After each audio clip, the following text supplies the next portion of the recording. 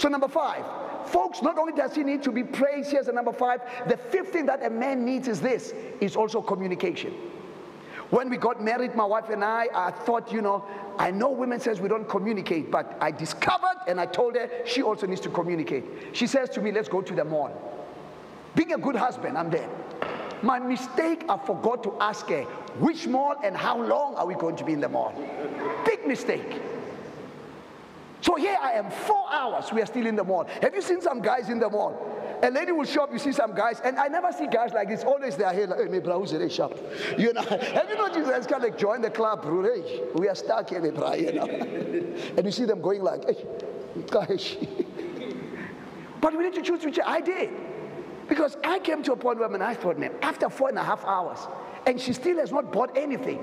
So I went to her like a good husband. I said, love, uh, are we about to finish? You know, in a nice smile. She says, Yes, sweetheart, we just have one more store to go to. I said, Which one? Big mistake.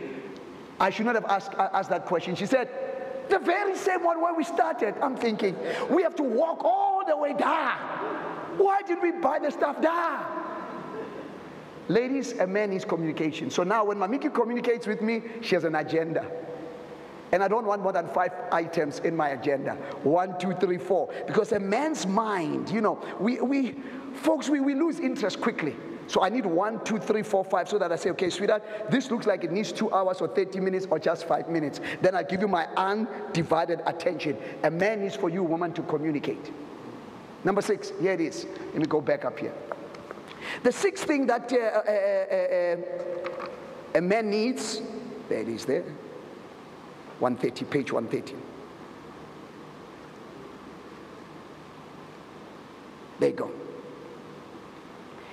A beautiful wife is the sixth thing that a man needs. A beautiful wife, not a beautiful knife.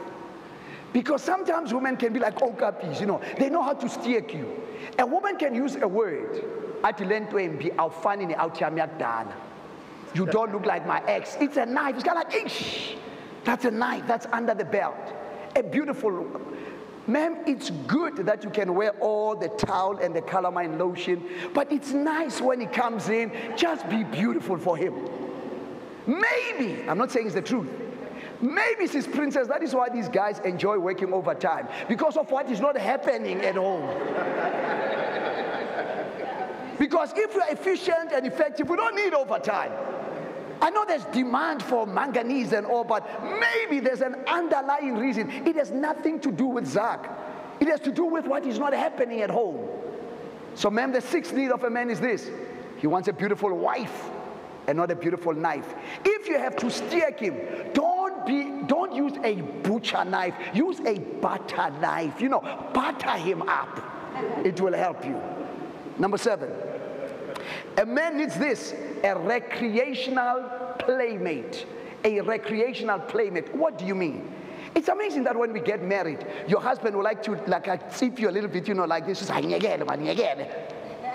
he wants to play with you.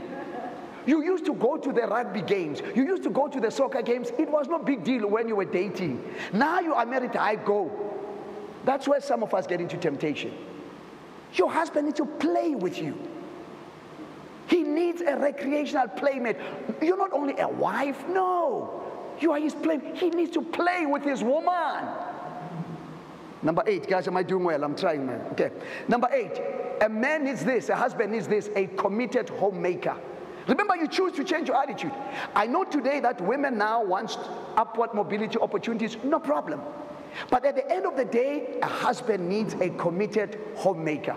Because when all is said and done, it's all about the home. Isn't it amazing?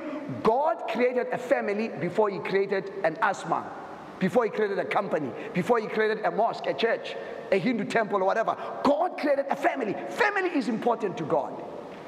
So a man needs a committed homemaker. Number nine, a man needs someone who is intelligent. Intelligent, not educated. We're not talking about just the degrees, whatever, but an intelligent woman. Ma'am, here's a secret. Ask him how was the day today? How is the share price of Assmang and whatever? The guy will begin to communicate. Then as he's blabby blabbing, you then squeeze in your items in there. You see, that's intelligence. But if he comes in, you already have a 16 things, you know, this and this and this and this. No wonder some guys look at their marriages and say, yo, I thought marriage was an ideal. It is an ordeal. Maybe I must pray for a new deal. and some of you, maybe in boyfriend and girlfriend, you say, oh, it started from lust.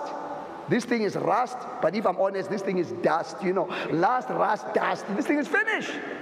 Intelligent. A man needs to be challenged. Be an intelligent woman.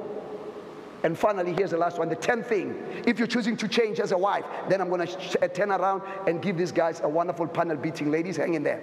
Number 10, here it is, guys. Uh, ladies, a man needs a wife who is honest.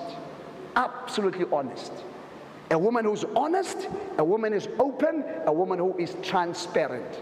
Isn't that the same qualities we need in the workplace? Because how can we work together and grow together if we are not honest? I get discouraged sometimes about leaders. They tell you something and they do something. You see, true riches is what you have, but true wealth is who you are. If you want to be a wealthy person, it's really who you are. Riches, cars, and stuff is what you have. But a wealthy person is a person who understands who or he, she is, is who you are.